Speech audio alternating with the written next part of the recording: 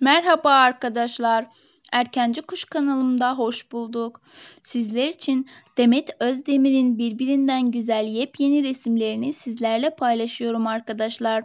Demet Özdemir e, biliyorsunuz e, yeni röportajı oldu ve röportajda e, bir saat soruları yanıtladı ve 10 bin kişinin katıldığı bu röportajda çok güzel birbirinden güzel sorular oldu ve bu sorulardan biri ise Demet Özdemir'in yani en anlamlı e, hayatında olan en anlamlı şeyi sor, e, sordu.